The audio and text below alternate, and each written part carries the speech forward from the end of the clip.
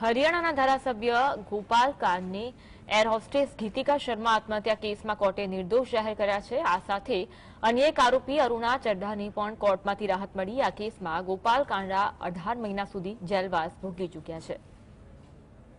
ગીતિકા શર્મા આત્મહત્યા કેસમાં દિલ્હીની રાઉઝ એવન્યુ કોર્ટે ચુકાદો જાહેર કર્યો છે.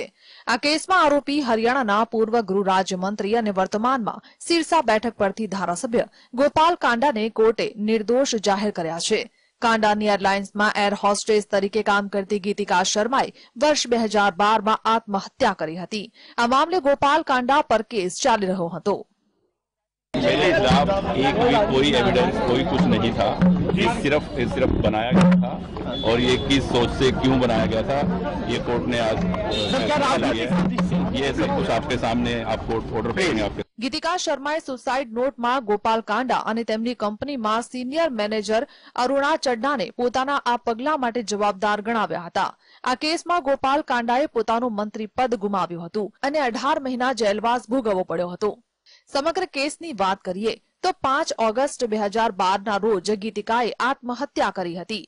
પોલીસમાં કેસ દાખલ થતા કાંડાએ હરિયાણાના ગૃહમંત્રી પદ પરથી રાજીનામું આપ્યું હતું.